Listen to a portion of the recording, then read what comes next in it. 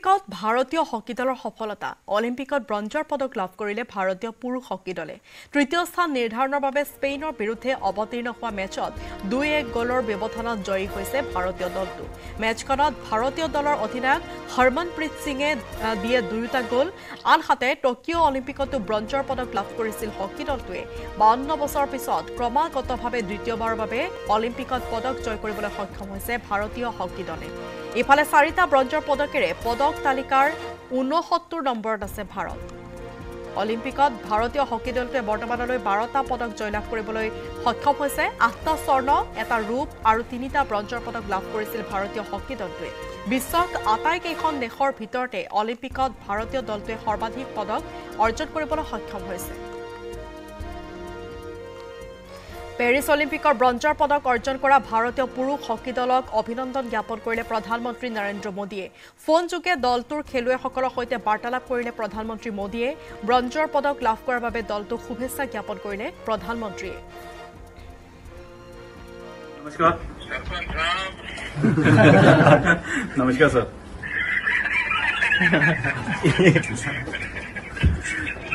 मैं भी बंद कर गया सरपंच साहब बोल रहे नहीं शुक्रिया sir. Thank you sir thank you ji sir. मैं आपको और पूरी टीम को बहुत बहुत बधाई शुक्रिया सर थैंक यू बहुत भारत का नाम रोशन किया आपने और आपको याद होगा मैंने टोक्यो में कहा था आपको जी सर कि आपने पराजय की पूरी श्रृंखला को तोड़ा है। जी सर। और अब आपके नेतृत्व में और आपकी पूरी टीम के प्रयासों से इस बार भी हमने प्रगति की है और मुझे पक्का विश्वास है कि अब हॉकी क्योंकि वो पुराना जो स्वर्णिम काल था वो फिर से आप लोग वापिस लेके आएँगे तो मुझे पक्का विश्वास हो गया है। जी बिल्कुल सर बिल्कुल लेके आएँगे सर। थैंक यू सर हमारे हमारे से जी, साहब। मुक्ति घोषित कर दी है। जी साथ में ही है सर कर लीजिए sir. Hello sir yes sir Sreejesh बात कर रहा हूँ सर कहते हो एकदम एकदम बढ़िया sir congratulation sir thank you sir thank you आपकी कमाल। आपने निवृत्ति घोषित कर दी आखिरी में। यस सर लेकिन आपको नई टीम तैयार करनी होगी भैया। यस सर यस सर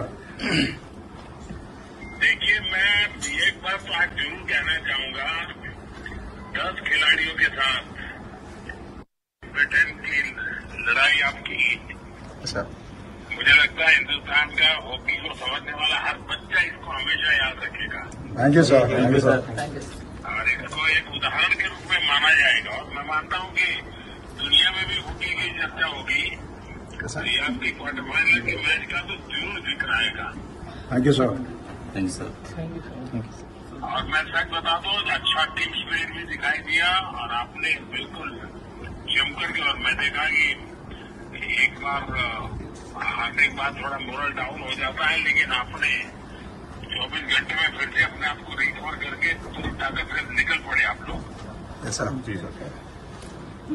देखिए देश को बड़ा गर्व हो रहा है आप लोगों पर और मेरी तरफ़ से बहुत बहुत बधाई है सबको। Thank you thank you very much sir सबकी तबीयत तो ठीक है ना? कोई इंजरी नहीं हुई नहीं नहीं सर सब एकदम बढ़िया सर सब দেশবাসীলৈ আশা কঢ়িয়াই আনিছে আন এগৰাকী খেলুৱৈ পুৰুষৰ সাতাৱন্ন কেজি মল্লযুঁজৰ ছেমি ফাইনেলত অমন শ্বেৰাৱত।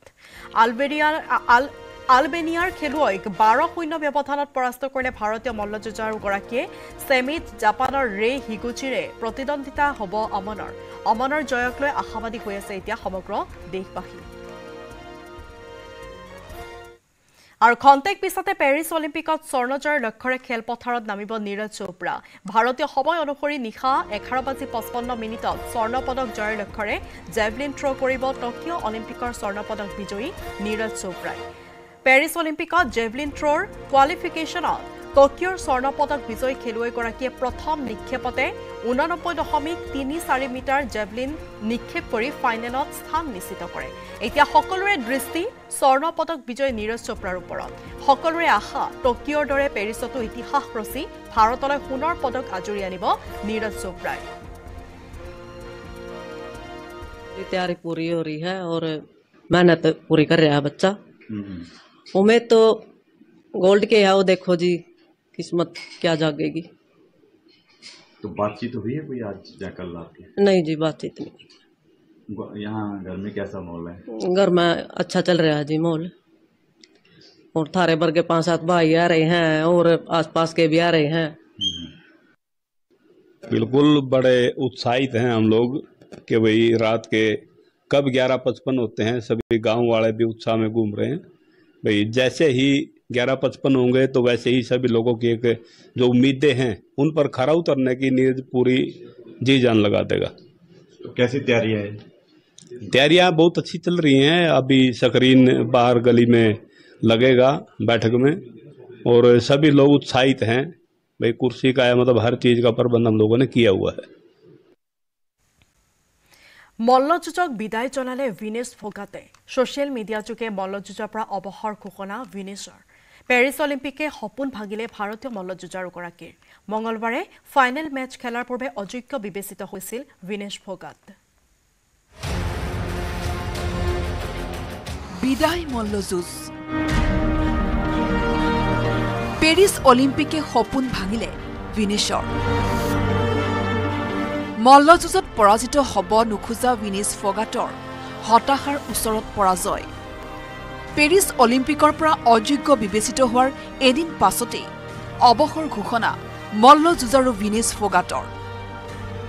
এক্স হেণ্ডেলত অৱসৰৰ কথা ঘোষণা কৰি বিনেশ ফগাটে আৰু ক'লে মোৰ লগত মল্লযুঁজ জয়ী হ'ল মই পৰাজিত হ'লো। ক্ষমা কৰিব। আপোনাৰ সপোন মোৰ সাহস সকলো থানবান হৈ গৈছে। মোৰ ইয়াতকৈ আৰু বেছি শক্তি নাই। বিদায় মল্লযুঁজ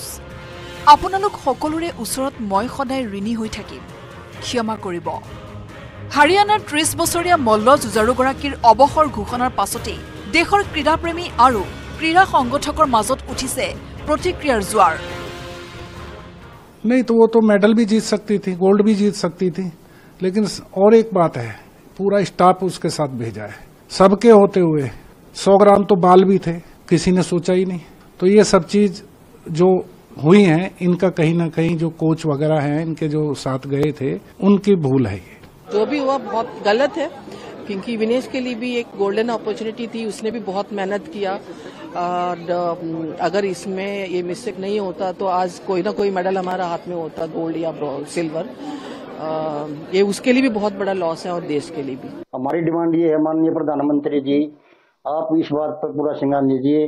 और ओलंपिक संघ पर पूरा दबाव बनाइए जो अधिकार हमारा हक है वो सिल्वर मेडल उसका अधिकार है वो प्रधानमंत्री जी से रिक्वेस्ट है बार बार आप इस बात पर पूरा संज्ञान लीजिए और उसका जो अधिकार है सिल्वर मेडल का वो दिलाने की कृपा करें ইফালে বিনেশ ফগাটৰ প্ৰসংগক লৈ উত্তাল হৈ পৰিল ৰাজ্যসভা উল্লেখ্য যে দেশবাসী উৎকণ্ঠিত হৈ থকাৰ সময়তে অলিম্পিকৰ ফাইনেল মেচৰ প্ৰাক মুহূৰ্তত অযোগ্য হিচাপে বিবেচিত হৈছিল বিনেশ ফগাট বিনেশৰ শৰীৰৰ ওজন এশ গ্ৰাম বৃদ্ধি হোৱাৰ বাবেই অযোগ্য ঘোষণা কৰিছিল আন্তঃৰাষ্ট্ৰীয় অলিম্পিক কমিটিয়ে।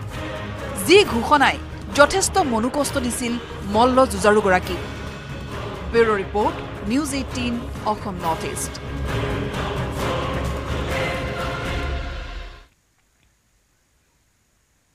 নিপকোৱে খুলিলে চাৰিখনকৈ গেট। নাগালেণ্ডত হোৱা ধাৰাসাৰ বৰষুণৰ বাবে খুলিলে গেট।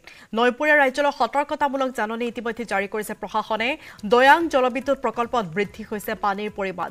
জলস্তৰ বৃদ্ধিৰ ফলত পথৰ ওপৰেদি বাগৰিছে পানী। প্লাৱিত হৈছে কাছমাৰী ইটানগৰকে ধৰি কেইবাটাও প্ৰান্ত। আৰু তাৰ পাছতে এই দৃশ্য ইতিমধ্যে জনাইছোঁ পথৰ ওপৰে বাগৰি পানী বাগৰিছে। আৰু তাৰ এতিয়া নৈপৰীয়া লোকসকলক সজাগ সচেতন হৈ থাকিবলৈ আহ্বান জনাইছে গোলাঘাট জিলা প্ৰশাসনে। নেপকোৱে দুখনকৈ যোৱাকালি গেট খুলি দিছে আৰু আজি আৰু এখন পুনৰ খুলি খুলি দিছে বুলি আমি জানিব পাৰিছোঁ।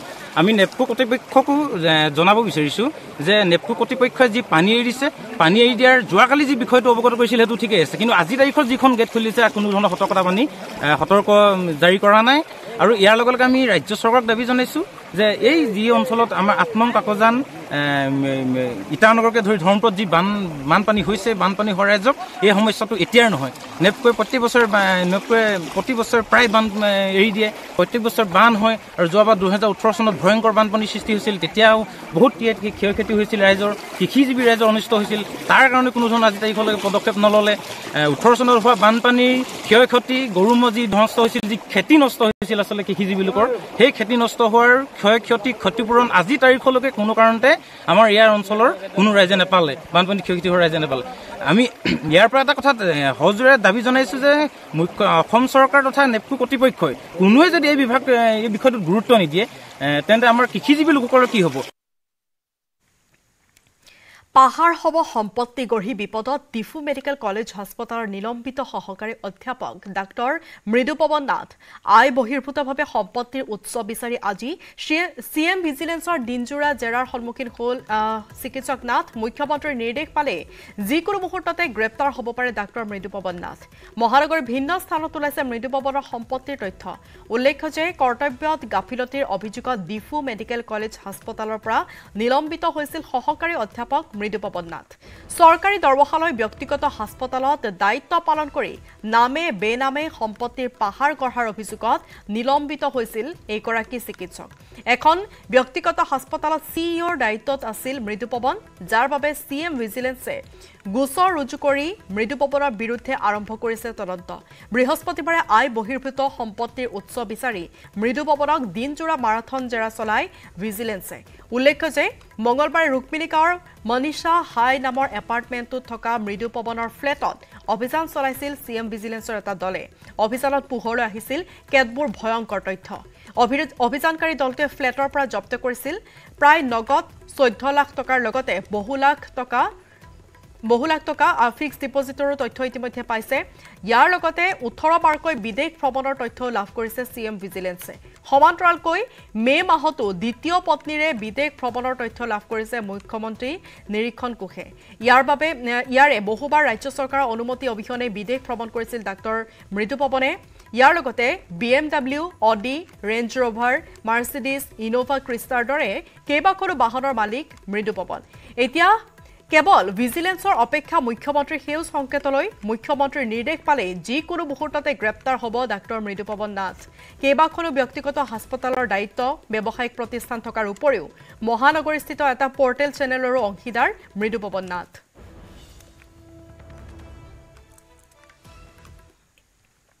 ৰজা ঘৰিয়াৰ বিৰুদ্ধে ক্ষোভ কৃত্ৰিম বানত জুৰুলা মহানগৰবাসীৰ।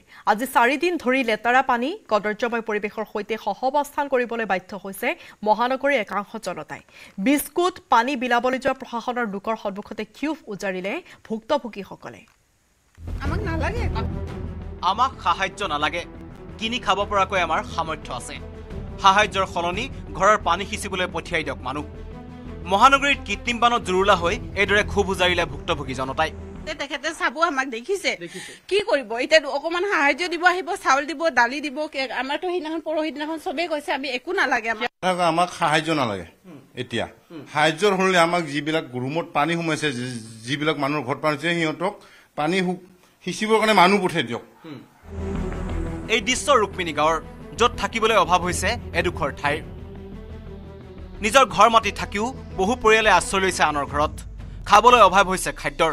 পঢ়াটো বাদেই শুবলৈ অভাৱ হৈছে বিচনাৰ কিয়নো সকলো এতিয়া পানীৰ তলত।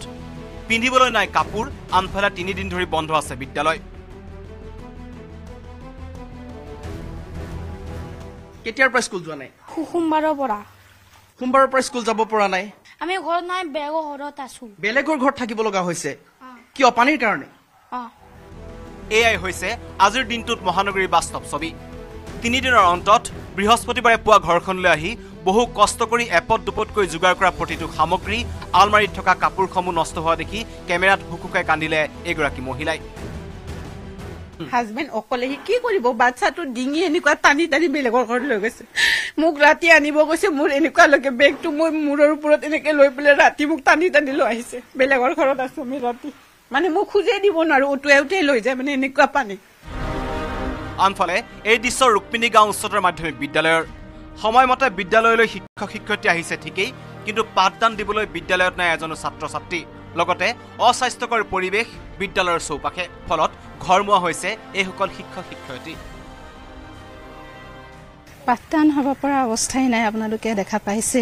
গোটেই ক্লাছৰুমৰ ভিতৰত আমাৰ পানী। গোটেই অৱস্থাটো একদম গোন্ধৰ পৰিৱেশ এটা লেতেৰা বস্তুৰে ভৰি পৰিছে। ইয়াতে মানুহ থকাৰে এতিয়া আমি ৰখি থকাৰে অৱস্থা উপযোগী হৈ থকা নাই হয়। এনেকৈ এজাক বৰষুণতেই দিক বিদিক হেৰুৱাই অতিষ্ঠ হৈ পৰিছে মহানগৰীৰ জনতা। আজি চাৰিদিন ধৰি লেতেৰা পানী কদৰ্যময় পৰিৱেশৰ সৈতে সহাৱস্থান কৰিবলৈ বাধ্য অনিল নগৰ নবীন নগৰ হাতীগাঁও পাঞ্জাবাৰীৰ দৰে ৰুক্মিণী গাঁৱৰ এইসকল জনতাই। কিন্তু মহানগৰবাসীৰ এই মৰ্মবেদনা শুনিব কোনে? খবৰ ল'বলৈ তিনিদিন ধৰি আজৰি নাই ৰজাঘৰীয়াৰ কোনোবাই যদি শিক্ষা প্ৰতিষ্ঠানৰ ওপৰত দুখ জাপিছে আন কোনোবাই দিছে বেবীৰ বেং মন্তব্য। ফলত নিজৰ কপালৰ ওপৰতেই দুখ জাপিলে ভুক্তভোগী মহিলাই। কি ক'ম মানে? কাক কি ক'ম? মানে নিজৰ কপালতে আমি নিজে হেৰি কৰিছো আৰু। এতিয়া শূন্য হৈ গলো আমি। শূন্য হোৱাৰ পিছত আমি এতিয়া কেনেকুৱা গঢ়িম আমি? আগতে পানী হৈছিল কিন্তু পানী হলেও এনেকুৱা পানী নহয়। ভিডিঅ' জাৰ্নেলিষ্ট প্ৰভাত সিঙৰ সহযোগত অসীম দত্তৰ report news eighteen Assam north east.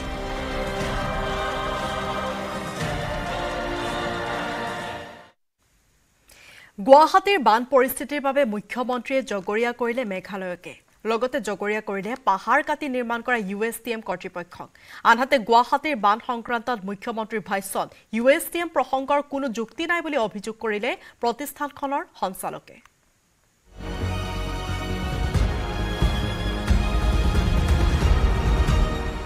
গুৱাহাটীৰ বানৰ আঁৰত চুবুৰীয়া মেঘালয়। ইউ এছ টি এমক লৈ পুনৰ কঠোৰ মুখ্যমন্ত্ৰী Himanta Biswa Sarma. U S T M কৰ্তৃপক্ষইও দিলে মুখ্যমন্ত্ৰীক উত্তৰ। মেঘালয়ৰ পৰা পানী অভূতপূৰ্বভাৱে নামি অহাৰ কাৰণ হ'ল U S T M university বৰষুণ হ'লে পানী নামে জি এছ ৰোডত গৈ নামে। কিন্তু জি এছ ৰোডত নামাৰ পিছত পানীখিনি ড্ৰেইনত নাথাকি পেলাই ৰোডতে ওলাই পৰে এইখিনি কাৰ কাম? গুৱাহাটীত বান বিভীষিকাৰ পৰিস্থিতিক লৈ সৃষ্টি হোৱা কুচক্ৰান্ত চুবুৰীয়া মেঘালয়ৰ ৰাজ্যৰ মুখ্যমন্ত্ৰীকে ধৰি দিছপুৰীয়া লোকে গুৱাহাটীৰ মহাপ্ৰলয়ক লৈ আজি জগৰীয়া কৰিছে গুৱাহাটীৰ সমীপৰ মেঘালয়ৰ পাহাৰত। মেঘালয়ৰ পাহাৰৰ বৰষুণৰ পানী বৈছে গুৱাহাটীলৈ।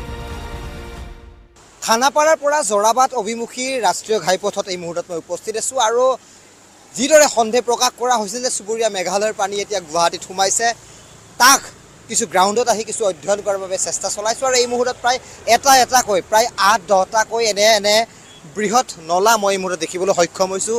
যিকেইটা নলাৰ জৰিয়তে ৰাজধানী চহৰ গুৱাহাটী মহানগৰত প্ৰৱেশ কৰি প্ৰৱেশ কৰিছে চুবুৰীয়া মেঘালয়ৰ পানী। হয় এয়া ৰাজধানী গুৱাহাটীৰ সমীপৰ সেউজীয়া পাহাৰেৰে আবৃত মেঘালয়ৰ পাহাৰ। পাহাৰতে আছে এইখন আগশাৰীৰ শিক্ষানুষ্ঠান ইউ এছ ডি এম। আৰু বৰষুণ পৰিলেই ৰাষ্ট্ৰীয় ঘাইপথৰ মাজৰ নলাৰে পাৰ হৈ আহিছে মেঘালয়ৰ পানী।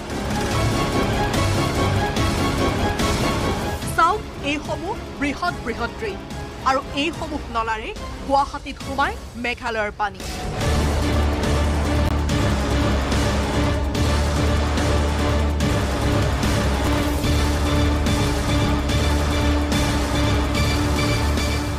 মেঘালয়ৰ পানী সোমোৱা এঘাৰটা ট্ৰেইন আছে হাইৱেৰ তলত।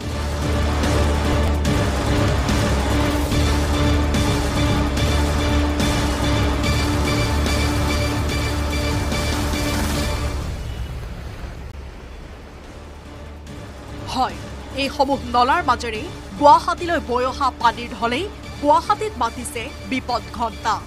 ইউ এছ টি এম ইউনিভাৰ্চিটিয়ে মেঘালয়ৰ গুৱাহাটীৰ খানাপাৰাত তেওঁলোকৰ ভৌগোলিক অৱস্থানৰ সুবিধা লৈ এটা বৃহৎ ডাঙৰ পাহাৰ তেওঁলোকে খান্দি পেলাইছে। ইফালে মুখ্যমন্ত্ৰী ইউ এছ ডি এম প্ৰসংগত নিউজ এইটিনৰ কেমেৰাৰ সন্মুখত মুখ খুলিলে শিক্ষানুষ্ঠানখনৰ সঞ্চালকে। এতিয়া কৈ গৈছে ইয়াতে ৰংগা মাটি যায়। নিশ্চয় ৰংগা মাটি যাব কাৰণ আমাৰ ওচৰ পাজৰতে বহুত আৰ্ট কাটিং হৈছে। যে খানাপাৰা যিখিনি ট্ৰাফিক পুলিচ বা এনে অসম অসম পুলিচ আছে তেওঁলোকে পইচা লৈ লৈ পেলাই যে এণ্টায়াৰ মেঘালয়ৰ যিখিনি মাটি আৰ্ট কাটিং হয় এইখিনি চব মেঘা অসমতে গৈ আছে। আৰ্ট কাটিংটো হৈ পেলাই মই যদি আজি মোৰ খালী প্লট এটা আছে মই ঘৰ বনাব লাগে তো আৰ্ট ফিলিং কৰিব লাগে। সেই মাটিখিনি মেক্সিমাম এই আমাৰ ৰোডৰ পৰা ওলায়। ভিতৰত আৰ্ট কাটিং চলি আছে গৈ আছে।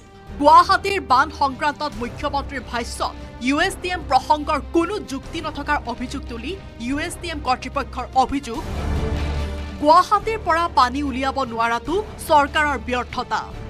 বৰষুণ পৰিলেই কৃত্ৰিম বান আৰু ইয়াৰ পাছত স্তব্ধ হৈ পৰা মহানগৰত কেতিয়া ৰোধ হ'ব এই পৰিস্থিতিৰ গুৱাহাটী মহানগৰখন আগুৰি আছে তেৰখনকৈ পাহাৰে। এনে সময়তে চুবুৰীয়া মেঘালয়ৰ পাহাৰৰ পানীও আহি ভৰি পৰা এই ভাবুকিক চৰকাৰ প্ৰশাসনে কিদৰে গ্ৰহণ কৰিব? নে গুৱাহাটীৰ এনে বিভীষিকাময় পৰিস্থিতিৰে সহাৱস্থান কৰি যাব লাগিব সাধাৰণ নাগৰিকে? গুৱাহাটীৰ পৰা দীপাংকৰ দাসৰ report news eighteen Assam north east.